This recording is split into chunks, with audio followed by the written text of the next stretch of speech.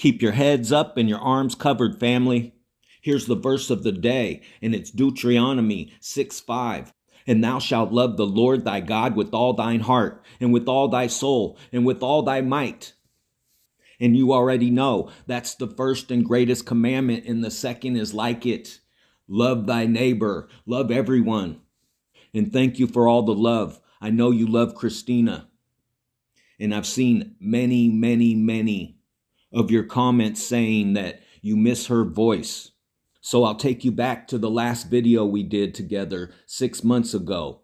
And she was in pain and she pushed through it anyway. All glory to our Father in the name above every name, Jesus Christ. What's up, beautiful fam? We're going to start with the verse of the day for Wednesday, August 17th, 2022. And it's 2 Peter 3:10.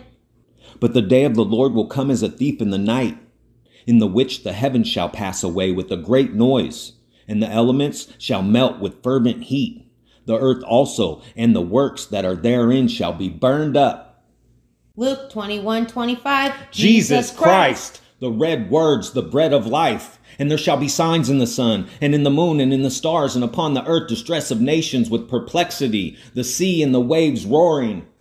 And praise God, she was able to do this video with me on August 17th. And then she escaped exactly two months later on October 17th. And you already know through all of this, our Father gave her the strength to still be fruitful. And all glory to our Father in the name above every name, Yeshua HaMashiach, also known as Jesus Christ. I'm still laboring by myself through all of this, the worst pain of my life, all for the glory of God. And it's a blessing and an honor and a privilege to be laboring in these last days. And I just ran out of money for the first time, and I don't know how long. It's been a while. Praise you, Father. And I was able to order 48 more backpacks, and they've already arrived. And I ordered more Bibles, and they should be arriving any day. And I'm just waiting on our Father to supply everything else by the riches and glory of Christ Jesus. And soon as he does, I'm going to put these packs together and head back to California. Christina's Grammy, our Grammy, had surgery on January 31st. And I was out there for three weeks. And her sister in law came and has been taking care of her. So I came back to see the kids in Las Vegas, and that's where I'm at right now. But Grammy's sister in law is going to be going back home. So I'm going to be headed back to make sure Grammy's okay. And my mom's up there too, so I'll be checking on her and doing whatever I can for her. While I'm laboring for Jesus Christ, God willing. And while I'm watching and showing you the signs right where Jesus Christ said they would be in the sun and in the moon and in the stars. And we've never seen anything like this, what we're seeing right now. These conjunctions are gigantinormous. And I'm going to walk you through it right now and praise our Father for you brothers and sisters emailing me these pictures. And I posted these ones last week, and what you're seeing is Venus, Jupiter, and the moon. And I was able to catch this picture of them myself. And here's another one from Northern California. And here's what it looked like last week in Stellarium. And as you can see, right above Venus, Jupiter, and the moon to the left is the asteroid Esther and Cleopatra, both queens. And the wandering star that they call Venus, they call the bright and morning star, is headed for the asteroid Esther right now. And the whole world is seeing this family, everyone watching. And even people that aren't watching. Sunset Sky Show. Last night we saw a spectacular scene in the evening sky. The young moon was approaching Venus and Jupiter, forming a bright triangle in the sunset sky. Even random people stopped and took pictures. And there will be signs in the sun and in the moon and in the stars. And this was four days ago on the East Coast. As you can see, they're completely lined up. It looks like a straight line pointing up. And I posted this one three days ago, and it says Sunset Sky Show. Three day mutual conjunction of Venus, Jupiter, and the Moon, witnessed by sunset sky watchers around the world, is over, it said. It said that it ended on February 23rd. But that article is inaccurate because it's still happening. And Venus and Jupiter are about to be on top of each other. And I'll show you that in Stellarium in just a minute. And as you can see, as the days go by, like I said, Venus and Jupiter are getting closer and closer by the day. And the strongest conjunction when they're on top of each other is two days away, one week before Purim. And it's been rainy and cloudy at night here. So again, praise God for you, family. This came in from a brother last night. And you can see how close Venus and Jupiter are together. And you can see the moon right above them. Well, it's about to get gigantinormous, family. And I'm about to show you right now. And we're all being tested and tried. But Jesus Christ is the author and finisher of our faith. So hold fast, family. So let me comfort you with the truth. Verse 2 For yourselves know perfectly that the day of the Lord so cometh as a thief in the night. What day? The day of the Lord comes like a thief in the night. Verse 4 But ye, brethren, are not in darkness that that day should overtake you as a thief. What day? The day of the Lord. So that day will not overtake us like a thief because we're expecting him and watching right where he said the signs would be in the sun, in the moon, and in the stars. And the heavens declare the glory of God. So let me take you to Stellarium and show you what he's doing. And I backed it up to 222, February 22nd. And as you go through the days, you can see the Sun, Saturn, and Mercury. And Mercury is headed for Saturn. And when you get to today, you can see how close they are together. And this is happening in the constellation they call Aquarius, the water bearer. And as you go through the days to March 2nd, you can see Mercury and Saturn are in conjunction on March 2nd. And at the very same time, this is the quadruple conjunction. You could see Venus and Jupiter in conjunction. And I'll back it up to the 22nd. And as you go through the days, you can see this is today. They're starting to go into conjunction. But the strongest conjunction is on the same day that Mercury and Saturn go into conjunction on March 2nd. Right there, family. And it happens right before Venus enters the constellation they call Pisces on Purim. This is gigantinormous, family. On March 2nd, there will be a quadruple conjunction Mercury and Saturn, and Venus and Jupiter. As you can see right there. And immediately after this quadruple conjunction, as you head towards Purim, you can see Esther and Venus in what they call Pisces, the fish. Now I'll take you back to this picture that our brother caught last night with Venus and Jupiter and the moon. And when you zoom into the moon, you could see right above the moon was Mars. The moon and Mars was in conjunction last night. And right to the left, below the moon, you could see another star. Hopefully it shows up in the video.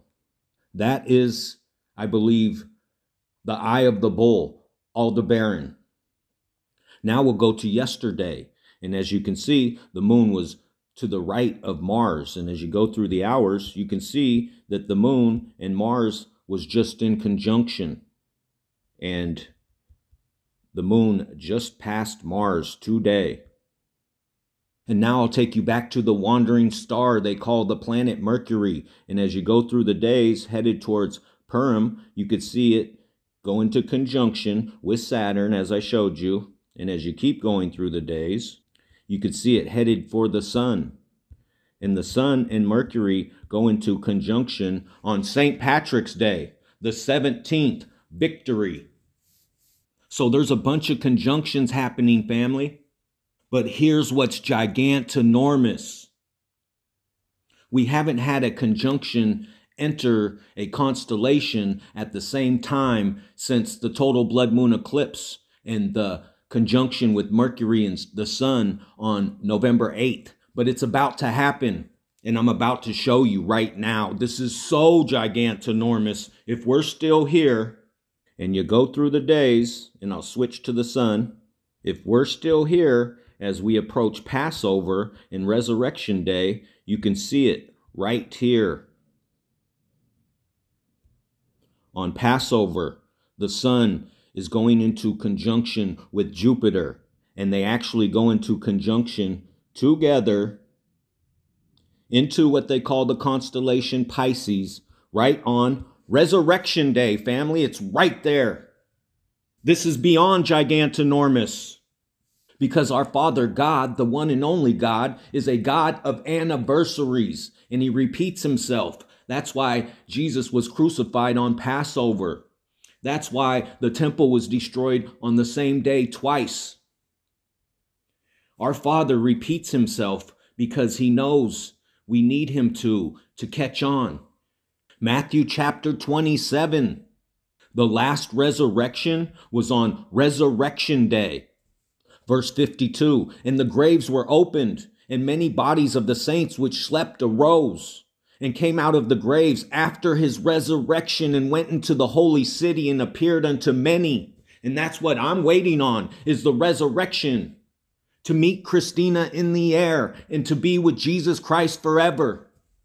And the Jewish people that they call rabbis have been saying for years that the Messiah is coming on Purim.